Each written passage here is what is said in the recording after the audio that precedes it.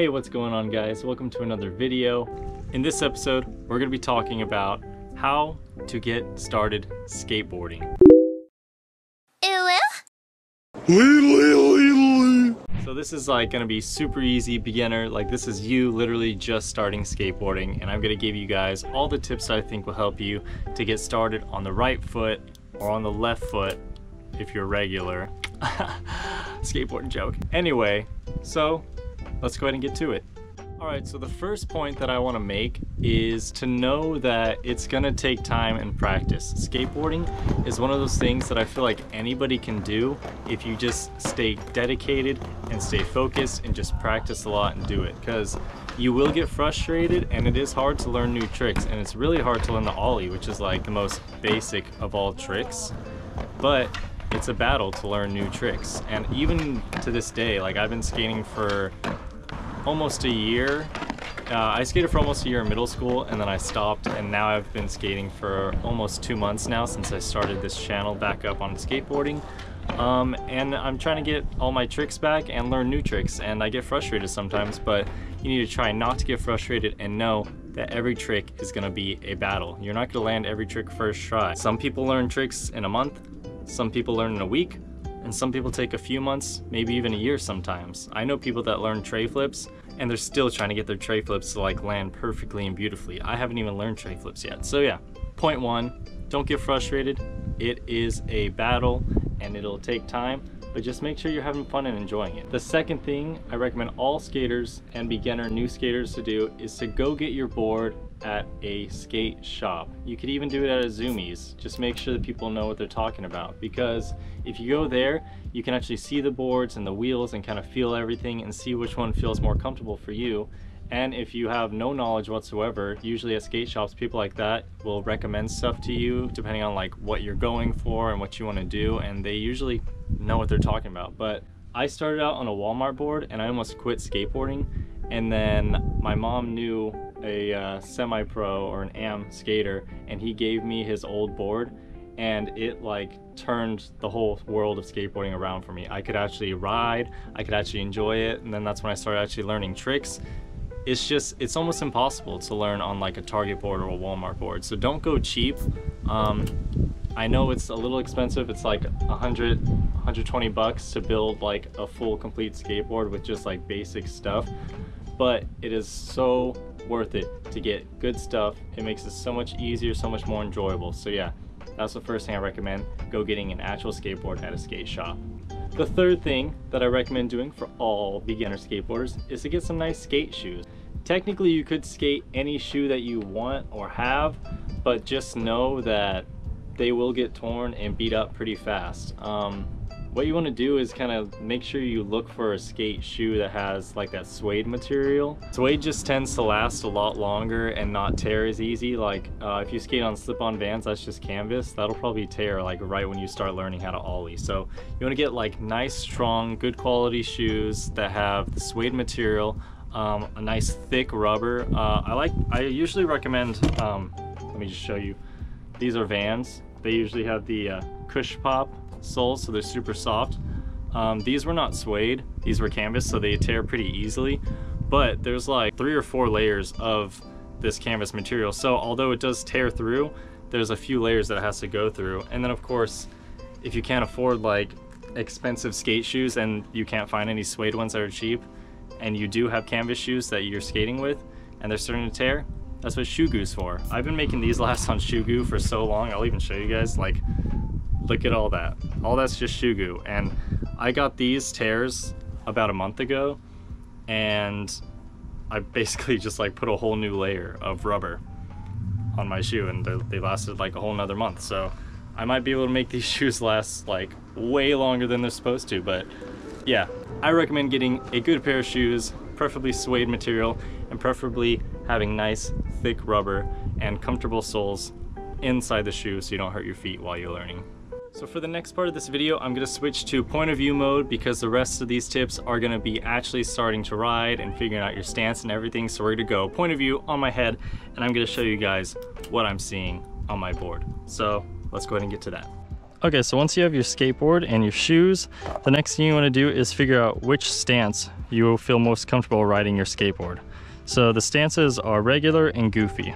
Regular is with your left foot in the front when you ride, and goofy is with your right foot in the front when you ride. There's no wrong or right way to ride. Regular or goofy is just the names of them. Nothing is more goofy or weird than the other one. Honestly, every time I talk to people, it's like a 50-50 split but more people I talk to are usually actually goofy.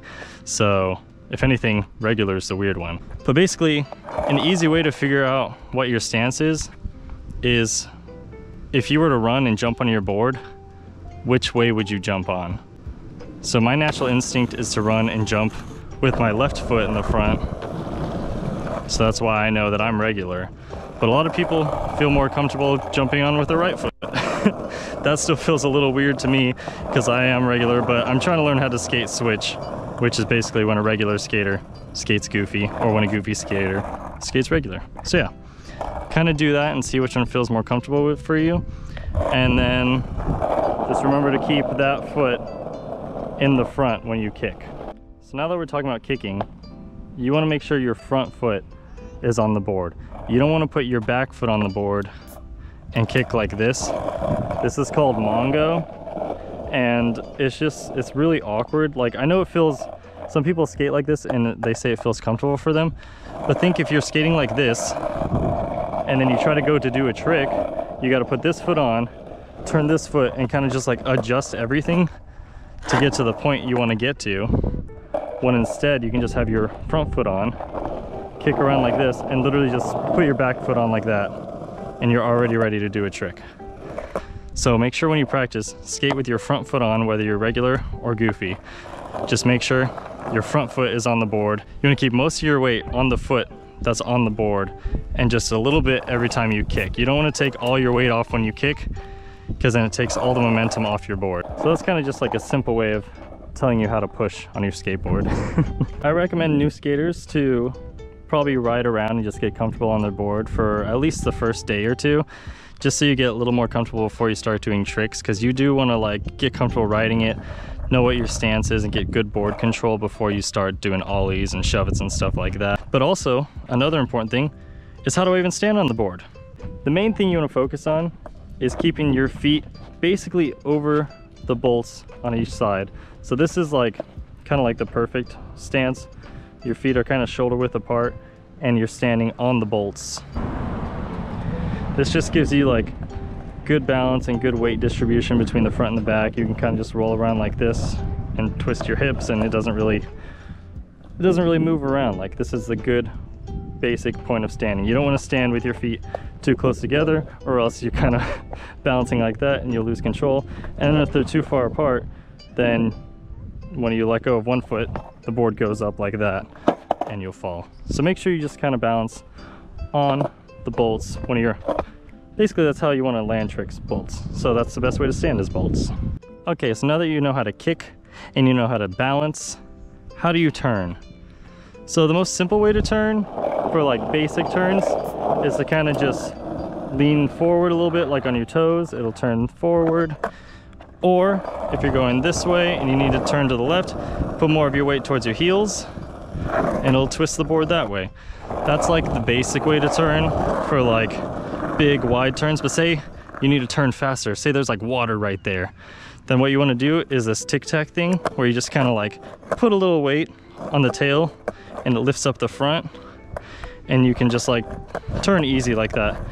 Plus this is another good way to kind of practice board control is to do these little tic tacs front side and back side and they really help so like say I'm going towards that grass but I don't want to fall in it.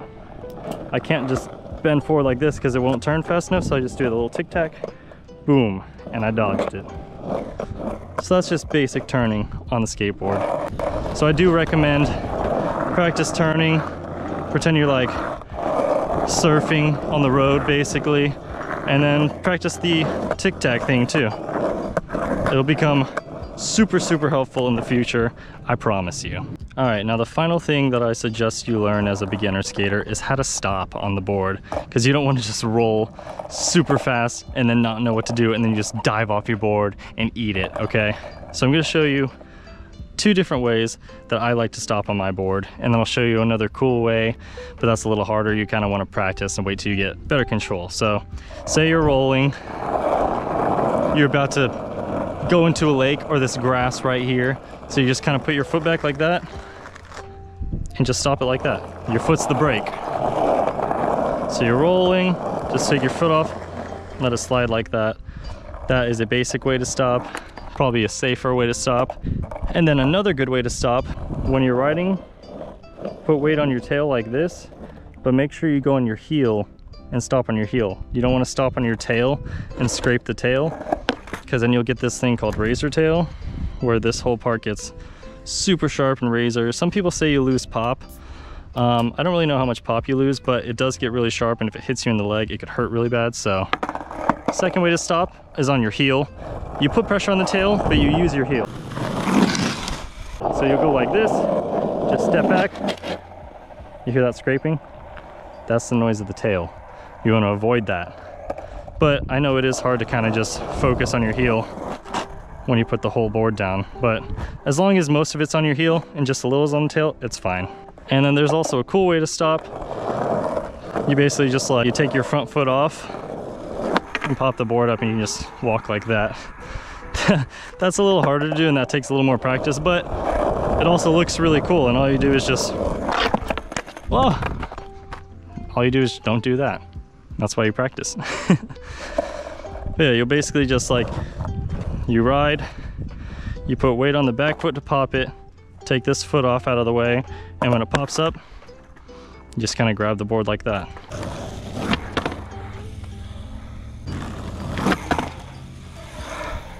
So it'll look like that. And that's just a fun way to stop, but the other ways are probably safer for beginners, so yeah. And another quick tip that I recommend beginners to learn is how to drop your board and get on it. So you know how skaters do that thing where they run like this and then they get on the board? I recommend learning that. Once you learn that, I feel like you won't even get on your board another way and it's super easy literally all you do is throw your board in front of you and then throw your front foot on it but you just do it all together and super fast so you go throw step. And it's just like that. I hope that video helped all you new skaters out there learn how to do stuff or maybe you learned some new stuff that you know you need to practice now. But yeah go check out my other videos. And once you like subscribe and leave a comment let me know what other stuff you guys want to see. And I'll see you in the next video